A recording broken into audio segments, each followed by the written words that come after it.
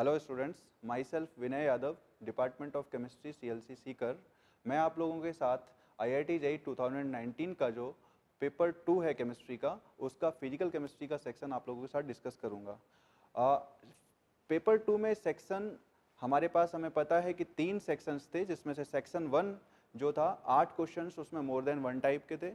Section two जो था हमारे पास, उसमें हमारे पास न्यूमेरिकल बेस्ड प्रॉब्लम्स थी, जो कि उसमें से फ़िज़िकल केमिस्ट्री के तीन क्वेश्चंस पूछे गए थे। सेक्शन वन में से आठ में से एक प्रॉब्लम पूछी गई थी। और सेक्शन थ्री जो हमारे पास था, उसमें कॉलम बेस्ड जो पेपर था, उस कॉलम बेस्ड ऑब्जेक्टिव पेपर जो था, उसमें से क्वेश्चन पूछे गए थे।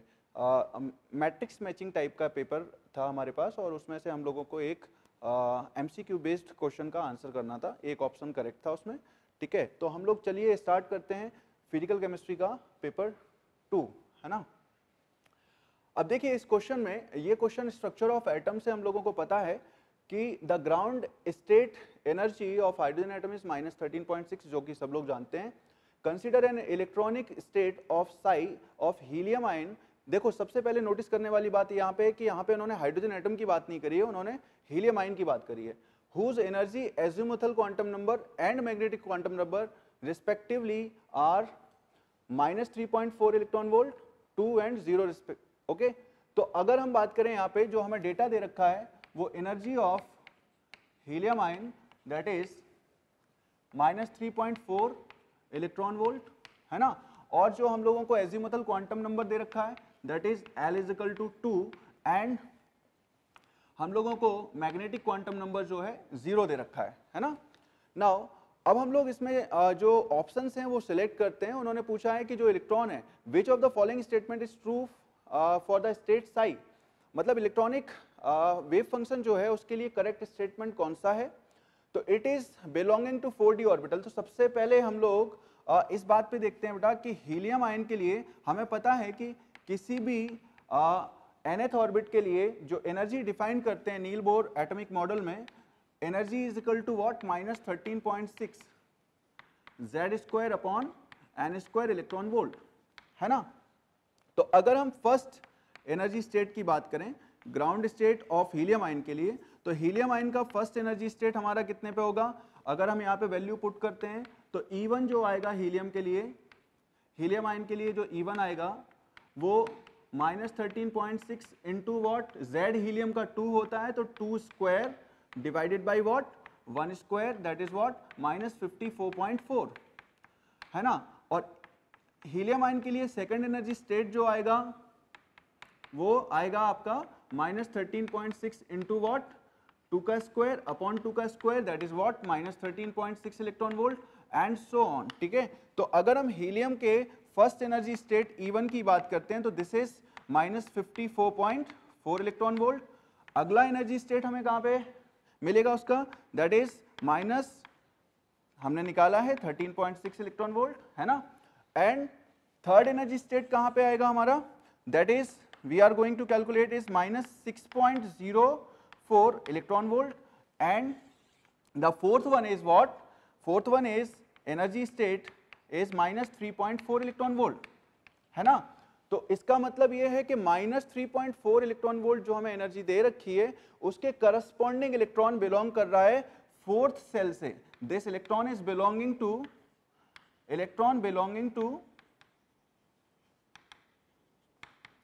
fourth orbit अब हमें दूसरा डेटा भी दे रखा है है ना? दूसरा डेटा हमें क्या दे रखा है? L is equal to two है ना? तो एल की वैल्यू जो है हमें टू दे रखी है। एल अगर टू है तो ये कौन सा सबसेल होगा भाई? ये डी सबसेल होगा। तो इलेक्ट्रॉन बेसिकली बिलोंग कर रहा है किसको? 4d सबसेल को। And 4d subshell is what 4d subshell के साथ उन्होंने ज़ीरो भी दे रखा है मतलब 4d के किसी एक पर्टिकुलर ऑर्बिटल से वो बिलोंग कर रहा है है ना? तो अगर हम बात करते हैं कि जो ऑप्शन वन है it is a 4d state है ना? More than one type question है तो हम लोग देखते हैं कि पहला ऑप्शन करेक्ट है या नहीं। तो हमें पता है कि 4d ऑप्शन करेक्ट है है ना? Now it has two angular node angular node का कैलकुलेट करने का हमारा फॉर्मूला क्या बेटा? Angular node is equal to what angular node corresponding to an orbital is equal to what L और एल क्या है आपका? There are how many electrons there are how many nodes angular node two ही होंगे क्योंकि L की value आपको दे रखी है दैट इज़ टू है ना? और फिर हमसे पूछा जा रहा है nuclear charge the that means what option one should be correct option two भी शुड बी करेक्ट है ना? तो ये दो ऑप्शन चेक हो गए हमारे कि ऑप्शन वन और ऑप्शन टू दोनों ही करेक्ट ऑप्शन है। थर्ड जो है हमें पूछा जा रहा है the nuclear charge experience by the electron in this state is less than two electron nuclear charge मतलब वो इफ़ेक्टिव Z की बात कर रहे हैं हम लोगों से तो Z इफ़ेक्टिव क्या होगा? बट ऑब्वियस है कि हमें पता है कि जो एटॉमिक नंबर होता है उसमें से आप क्या करते हैं? सिग्मा को सब्ट्रैक्ट करते हैं, है ना? अगर हम लोगों ने इलेक्ट्रॉन दो में से एक कर दिया now we are having one electron only then Slater's constant जो सिग्मा है ठीक है ना यहाँ पे इसकी वैल्यू हो जाएगी ज़ीरो तो इफ़ेक्टिव न्यूक्लियर चार्ज जो है आपको जो एक्सपीरियंस होगा इलेक्ट्रॉन को वो टू के बराबर ही होगा ना कि टू से कम होगा। सो so, ये ऑप्शन हम लोग डिस्कार्ड कर सकते हैं है ना? फिर हमसे पूछा जा रहा है रेडियल नोट ठीक है तो नंबर ऑफ़ रेडियल नोट कितने होते हैं हमें पता है? तो रेडियल नोट का हमें फॉर्मूला भी पता है कि रेडियल नोट होते हैं हमारे पास n minus L minus one है ना? तो एन कितना है अपने पास? एन अपने पास है फोर एल है two minus one that is one मतलब हमारे पास जो इलेक्ट्रॉन है, वो बिलोंग कर रहा है 4d सबसेल से और 4d ऑर्बिटल से। 4d ऑर्बिटल के करस्पॉन्डिंग हमारे पास जो रेडियल नोड होंगे they will be one not three so answer four should be discarded है ना? चलिए नेक्स्ट क्वेश्चन पे आते हैं हम लोग। नाउ हमसे सेकंड क्वेश्चन दे रखा है और इसमें न्यूमेरिकल वैल्यू टाइप क्वेश्चन है ये हमारा। Uh, और ये सेक्शन टू में पूछा गया क्वेश्चन है। तो ऑब्वियस है हमारा कोई डेटा होगा उसमें एक कोई न्यूमेरिकल वैल्यू सॉल्व करने पे आ रही होगी है ना? तो इसको जरा हम लोग सॉल्व करते हैं है ना? तो क्वेश्चन हमारे पास जो दे रखा है that is the mole fraction of urea in aqueous solution है ना? Containing 900 gram of water is 0.05 ठीक है भाई? अपन को एक एक्व सोल्यूशन दे रखा है यूरिया का। ठीक है? यूरिया का एक्व सोल्यूशन अपन को दे रखा है। और जिसका मोल फ्रैक्शन अपन को दे रखा है, कितना बेटा? पॉइंट ज़ीरो फाइव है ना? अब पॉइंट ज़ीरो फाइव उस सॉल्यूशन का मोल फ्रैक्शन दे रखा है और उसकी डेंसिटी अपन को दे रखी है क्या? 1.2 ग्राम पर एम ये कॉन्सेंट्रेशन टर्म से रिलेटेड क्वेश्चन है, बिल्कुल आसान सा क्वेश्चन है। और अगर हम मोलरिटी के बारे में बात करें, क्योंकि हमसे क्वेश्चन में मोलरिटी पूछी गई है कि molarity of the urea solution is so molarity will be what molarity का फॉर्मूला क्या होता है? हम लोग जानते हैं it is the number of moles of solute dissolved in one litre of solution so molarity का जब हम लोग सॉल्यूशन का मोलरिटी का फॉर्मूला जब लोग लिखते हैं हम लोग तो हम लोग क्या लिखते हैं बेटा? Thousand into number of moles of solute divided by what volume of solution अब हमें वॉल्यूम तो गिवन है नहीं है, हम लोगों को क्या गिवन है? डेंसिटी गिवन है। तो हम क्या करते हैं, इस पूरे फॉर्मूले को डेंसिटी के टर्म्स में कन्वर्ट करते हैं। So number of mole of solute और यहाँ पे हम लोग लिखेंगे weight of solution into weight of solution divided by what density of solution है ना? तो डेंसिटी ऑफ़ सोल्यूशन हमारे पास दे रखी है ना? अब ये हम लोग जब फॉर्मूले को जरा मॉडिफाई करते हैं बेटा तो थाउज़ेंड इंटू डेंसिटी ऊपर पहुँच गई और ये number of mole of solute है ना? Upon what W of solute plus W of solvent अब देखो यहाँ पे अपन लोग क्या करते हैं, यहाँ पे हमें जो डेटा दे रखा है, वो मोल फ्रैक्शन के टर्म्स में दे रखा है। तो हम क्या करने वाले यहाँ पे? इस पूरे फॉर्मूले को मोल्स और मोल फ्रैक्शन के टर्म्स में ट्रांसफॉर्म करते हैं। N of solute upon what इसको लिखते हैं हम लोग number of mole of solute into molar mass of solute क्योंकि मास ऑफ़ सोल्यूट वही होगा number of mole of solute और molar mass plus number of mole of solvent into what molar mass of solvent है ना? अब हम सारा का सारा आ, जो आ, ये एक्सप्रेशन आया है इसमें ऊपर भी एन टोटल से डिवाइड कर दें और नीचे भी हम लोग एन टोटल से डिवाइड कर दें है ना? तो एन टोटल से जब हमने डिवाइड करा तो ये टर्म क्या हो गया? ये टर्म हो गया मोल फ्रैक्शन और ये भी मोल फ्रैक्शन हो गया है ना? तो अपन लोग क्या लिखेंगे इसको? अपन का फॉर्मूला आया thousand into what density into x of solute जो मोल फ्रैक्शन ऑफ़ सॉल्यूट है, upon mole fraction of solute, है ना, plus mole fraction of into molar mass of solute plus mole fraction of solvent into molar mass of solvent ये हमारे पास formula आ गया, है ना? Now इस फॉर्मूले का हम लोग वैल्यू पुट करनी है और हम लोगों को आंसर आ जाएगा यहाँ पे।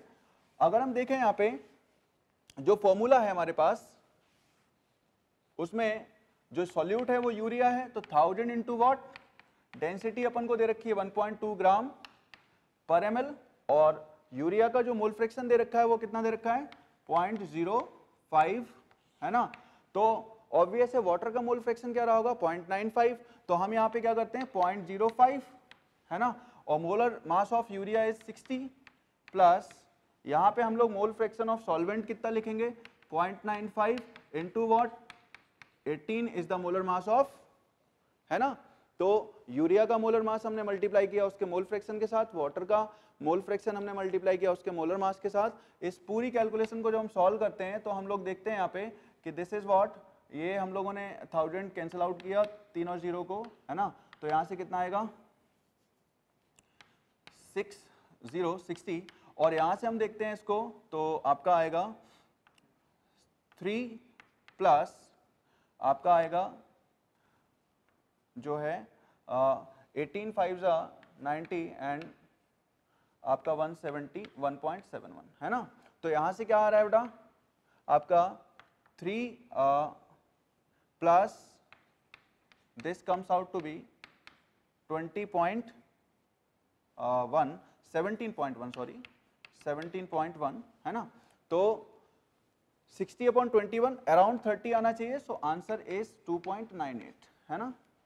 तो ये आपका आंसर होगा न्यूमेरिकल बेस्ड प्रॉब्लम है उसमें हम लोग इस तरीके से सीबीटी पेपर में uh, उसमें कंप्यूटर में जाके ये फिलअप करते डिजिट्स को so answer is 2.98 thank you next question अगर हम देखें बेटा इस क्वेश्चन को ध्यान से पढ़ो ये थोड़ा सा ठीक क्वेश्चन था और ये क्वेश्चन बेसिकली केमिकल काइनेटिक्स का है है ना? इस क्वेश्चन में हम लोग देखते हैं। कि हमें जो डेटा दे रखा है, पहले तो उसको ऑब्ज़र्व करो। N2O5 गैसियस और इसको हीट कर रहे हैं हम लोग। क्या आ रहा है? Twice of N2O4 gaseous plus O2 gaseous question हमें दे रखा है the decomposition reaction of N2O5 is this one is started in a closed cylinder under isothermal and isochoric condition isothermal मतलब temperature of the reaction will be maintained and the volume of the cylinder will be maintained है ना? Now at initial pressure of one atmosphere मतलब chamber के अंदर जो हम लोगों ने एन फाइव ले रखा है इनिशियली उसका प्रेशर कितना है? वन एटमोसफियर नाउ अपन लोगों को बोला जा रहा है कि after y into ten to the power three second the pressure inside the cylinder was found to be one point four five times one point four five atmosphere if the rate constant of the reaction is this one, then assuming the ideal behavior, the value of y, हमसे y की value पूछी गई है। तो हम जरा ध्यान से देखें बेटा। इसको सपोज़ करो, हम लोगों ने t is equal to zero पे पी नॉट माना, जिसकी वैल्यू हमें दे रखी है one atmosphere after t time इसका डिसोसिएशन अगर होता है तो इसका पार्शियल प्रेशर डिक्रीज होता है एक्स से तो पी नॉट माइनस एक्स ये आपका एक्स होगा और ये आपका एक्स बाई टू होगा। तो after few time after some seconds जो कि आपको दे रखे हैं y into ten to the power three तो हम टी की वैल्यू मान के चल रहे हैं यहाँ पे कि y into ten to the power three है। तो इस केस में क्या होगा? P naught minus x x और एक्स बाई टू इन तीनों का पी टोटल जो होगा चैम्बर के अंदर, वो क्या होगा? पार्शियल प्रेशर ऑफ़ N2O5 जो कि P नॉट माइनस एक्स है partial pressure of N2O4 that is x और partial pressure of O two that is x by two है ना? तो x और x हम लोग हटा देंगे यहाँ से तो यहाँ यहाँ पे हमारे पास आता है P naught plus x by two ये जो आपको P टोटल दे रखा है, आपको after time t that is already given P plus x by two is equal to one point four five है ना? और P नॉट की वैल्यू हमें कितनी दे रखी है? वन दे रखी है। तो x बाई टू कितना होगा? X बाई टू होगा आपका 1.45 minus one that is equal to 0.45 ठीक है ना? तो x की वैल्यू कितनी आती है यहाँ से? X की वैल्यू आती है 0.90 ओके यहाँ तक क्लियर है? अब हम लोग बात करते हैं इस क्वेश्चन में जो आगे की डिटेल्स दे रखी है, वो कह रहे हैं कि if the rate constant of the reaction is 5 into ten to the power minus four second inverse ठीक है ना? अगर हम इसकी ध्यान से यूनिट देखें तो सेकेंड इनवर्स रेट कांस्टेंट की यूनिट है तो ऑब्वियस है ये डिसोसिएशन जो है that should follow the first order kinetics है ना? तो फ़र्स्ट ऑर्डर ये काइनेटिक्स को ये फॉलो करेगा। तो अब पहले हम लोग ये नोटिस कर लेते हैं कि यहाँ पे हमारे पास x की वैल्यू है 0.90 है ना? तो x की वैल्यू हमारे पास आई है 0.90 ठीक है? और p नॉट आपका था 1 है ना? तो अब देखो यहाँ पे, अब इसका रेट लॉ एक्सप्रेशन जरा हम लिखते हैं इस रिएक्शन के लिए। जो रिएक्शन हमें दे रखी है that is two N two O five gaseous gives two N two O four gaseous plus O two gaseous ठीक है ना? अगर अपन लोग इसको N2O5 को थोड़ी देर के लिए ए कंसीडर करें ताकि हम लोग जो है इंटीग्रेशन वाला पार्ट आसानी से कर पाए तो इसको हम लोग कंसीडर कर रहे हैं क्या? ए ठीक है? Consider it as A okay इसका नाम हम लोगों ने ए रख दिया है। नाउ अब अपन लोग बात करते हैं रेट ऑफ़ रिएक्शन क्या होगी? Rate of reaction will be what rate of reaction will be हमें पता है कि रेट एक्सप्रेशन से हम लोग जब लिखेंगे तो this will be what minus of one by two of d of N two O five by d t है ना? ऐसा ही लिखा जाएगा। और रेट लॉ एक्सप्रेशन से जब हम लोग लिखेंगे तो रेट लॉ एक्सप्रेशन से हम लोग लिखेंगे k into what concentration of N two O five is equal to what? Minus one by two of d of N two O five by d t. है ना? अब हम लोग क्या कर रहे हैं यहाँ पे? हम लोग इसको रेट लॉ एक्सप्रेशन और जो है आपका रेट लॉ और रेट एक्सप्रेशन से जो रिज़ल्ट अपना कंक्लूजन निकल के आया, इसको मैंने ए बोला है तो हमारे पास क्या आ गया? Minus of d A by d t is equal to what? Two times of k into A A मैं पहले ही बता चुका हूँ कि ए हम लोग मान रहे हैं इसको N2O5 को। तो यहाँ से क्या हुआ कि minus of one upon A d A is equal to what two k dot d t इसको हम लोग इंटीग्रेट करते हैं। आ, हमें पता है कि रेट कांस्टेंट कांस्टेंट है तो इसको हम लोगों ने बाहर रखा। टाइम जो है ज़ीरो से टी और आपका जो ए है उसकी concentration t is equal to zero पे ए नॉट था और अभी क्या हो गया? ए टी है ना? तो यहाँ से जो एक्सप्रेशन निकल के आएगा, वो आएगा आपका लिमिट्स रखने पे l n of A naught upon A t is equal to two times of k t okay ये एक्सप्रेशन किसका है? फ़र्स्ट लॉ का, है ना? जो फ़र्स्ट ऑर्डर रिएक्शंस के लिए एक्सप्रेशन लिखा जाता है रेट एक्सप्रेशन उसका एक फॉर्म ये भी है, हमें सबको पता है है ना? तो अब हम क्या करने वाले हैं यहाँ पे? टू के जो है आपका बेसिकली यहाँ पे पुट हुआ है। रेट कांस्टेंट जो के लिखते थे, इस बार वो सब्सिट्यूट होके टू के हो गया, है ना? तो जनरली बच्चे इसी पार्ट पे गलती करेंगे, इसलिए मैंने डेरिवेशन किया। टी जो होगा आपका that will be what one upon two k है ना? एल को जब हम लोग लॉग में लिखते हैं तो क्या होता है? Log is equal to what log of A naught upon A है ना? और लॉग में लिखेंगे तो ये होगा 2.303 है ना? अब आप वैल्यू पुट करो बस, ठीक है? और आपको जो इनिशियल कॉन्सेंट्रेशन और यहाँ पे टी टाइम पे जो कॉन्सेंट्रेशन दे रखी है, वो प्रेशर के टर्म्स में दे रखी है तो हम क्या कर रहे हैं यहाँ पे 2.303 अपॉन टू के की वैल्यू आपको दे रखी है five into ten to the power minus four into log of what हम लोग लिखेंगे यहाँ पे P naught upon P naught minus x जो एक्टिव मास है वो प्रेशर के टर्म्स में है तो हम लोग N2O5 का एक्टिव मास प्रेशर के टर्म्स में रखेंगे और यहाँ पे आपका आता है 2.303 upon ten to the power minus three और यहाँ से क्या होगा भाई? यहाँ से लॉग ऑफ़ पी नॉट आपको कितना दे रखा है? पी नॉट आपको वन एटमोस्फियर दे रखा है और पी नॉट माइनस एक्स क्या होगा? एक्स की वैल्यू आपको पॉइंट नाइन आई है तो यहाँ से पॉइंट वन हो गया, है ना? लॉग टेन क्या होगा? लॉग टेन वन हो जाएगा तो two point three zero three into ten to the power plus three अगर हम इसको कंपेयर करें जो आपको टाइम दे रखा है, y into ten to the power three दे रखा है तो y की वैल्यू यहाँ से कितनी निकल के आती है? y की वैल्यू निकल के आती है 2.303 है ना? तो हम लोग बोलेंगे कैलकुलेशन भी इस तरीके की दी गई क्वेश्चन पेपर में, जो आसानी से सॉल्व होती है, उसके लिए कोई एडिशनल एफर्ट नहीं डाल लेते हम लोगों को, है ना? तो y की वैल्यू अपने पास 2.303 आई so answer is what 2.303 next question now next question हम लोग आते हैं the amount of water produced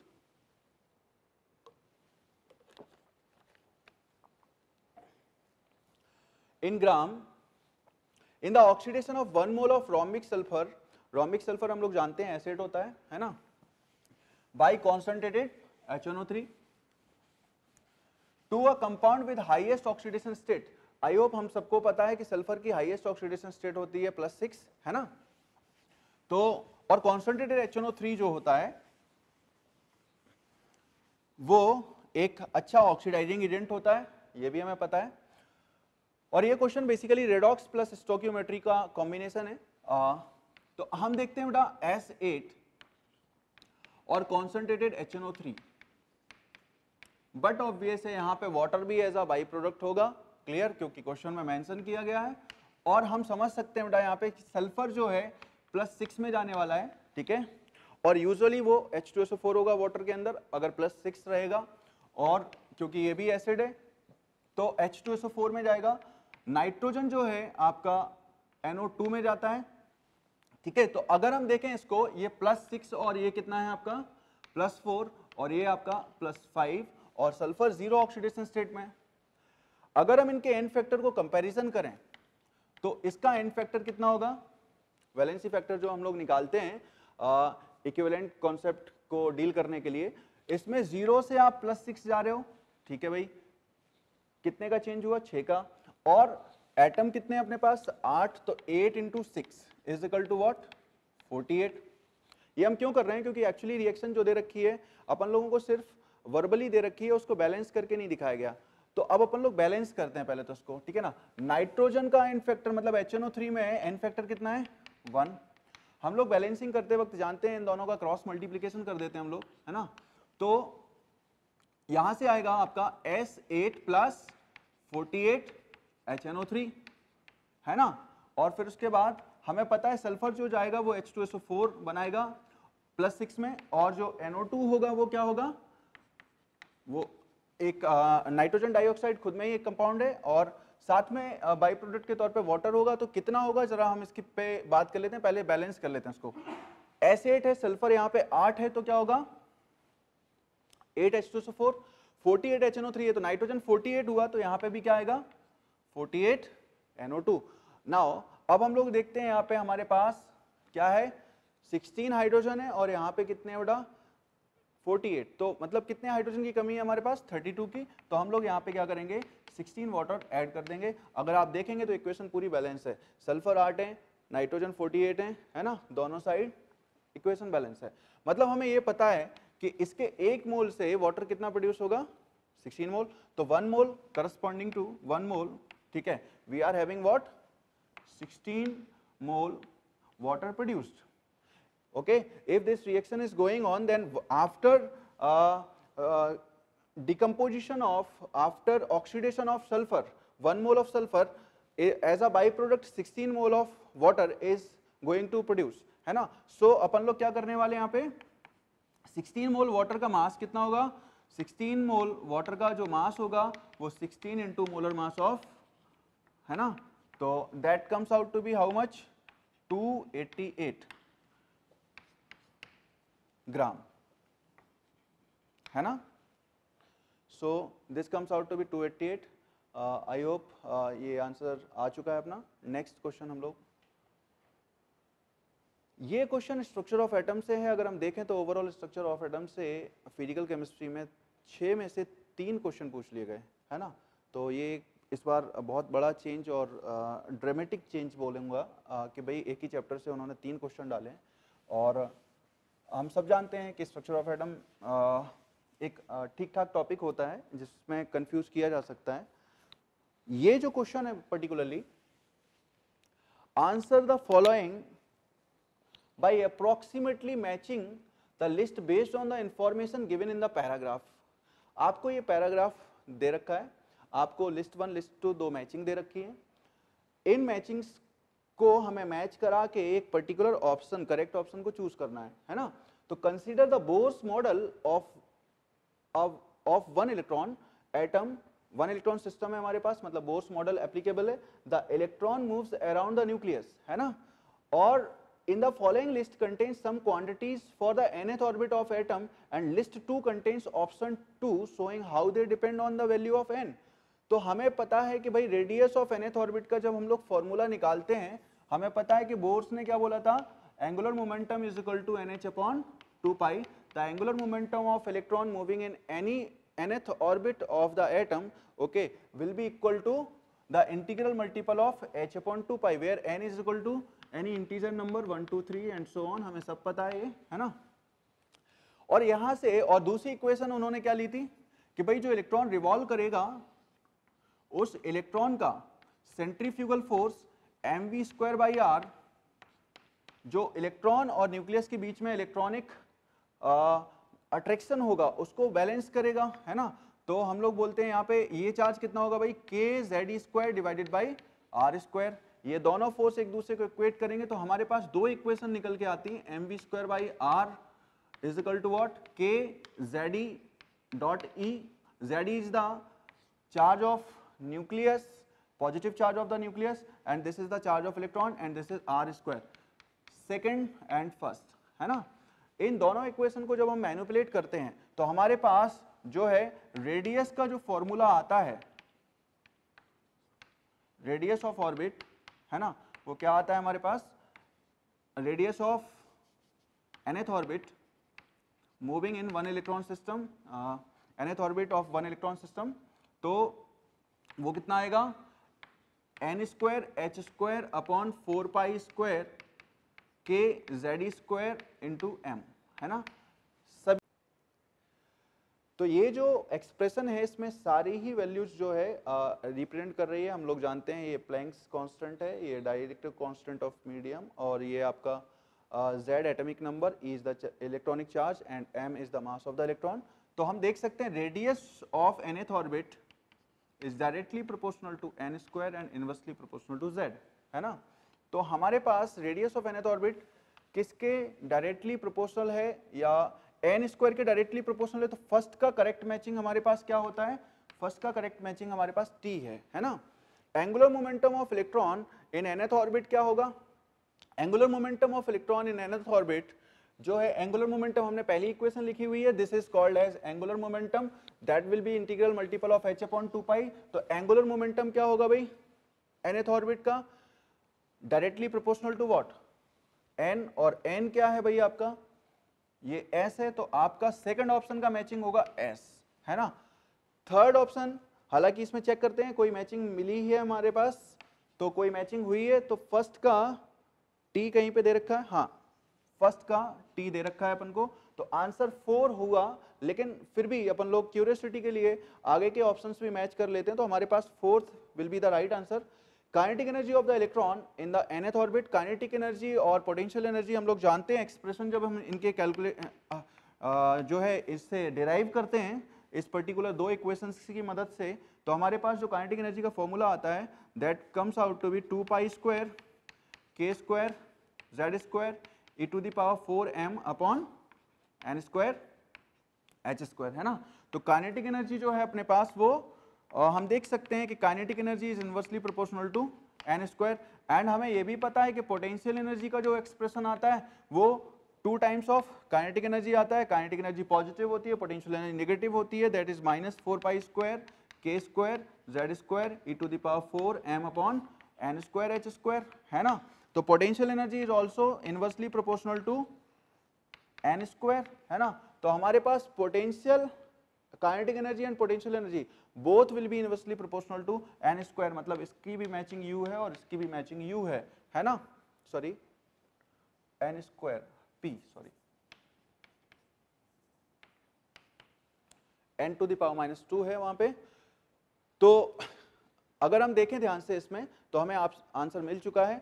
Next question question number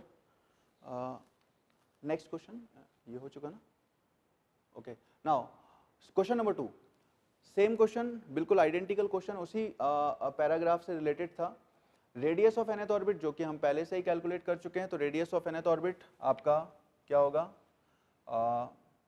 N square के डायरेक्टली प्रोपोर्शनल होगा तो इसका मैचिंग टी है एंगुलर मोमेंटम का मैचिंग एस है बिल्कुल करेक्ट है the kinetic energy of the electron in nth orbit इसकी मैचिंग पी है और जो है आपका potential energy of the electron इसका मैचिंग क्या है? वो भी पी है है ना? तो अगर हम ध्यान से देखें तो आप मैच करते हैं जरा भाई। थर्ड की मैचिंग क्या है? एस ये आंसर नहीं हो सकता, है ना? थर्ड की मैचिंग पी है, ये आंसर होना चाहिए, है ना? बाकी ऑप्शंस को भी चेक कर लेते हैं जरा, है ना? तो अगर हम देखें फोर्थ की मैचिंग क्या है? यू है, नहीं है। और फोर्थ की मैचिंग क्यू है, ऐसा भी नहीं है। तो इस तरीके से अपन लोगों ने फ़िज़िकल केमिस्ट्री के छः क्वेश्चंस का सोल्यूशन दिया और हमारे एक्सपर्ट्स ने और भी जो सब्जेक्ट्स हैं मैथ्स फिजिक्स के, उन सभी के वीडियो हमारे वेबसाइट सी परिवार डॉट इन पर अपलोड किए गए हैं। आप लोग उससे रिफ़र कर सकते हैं। Thank you very much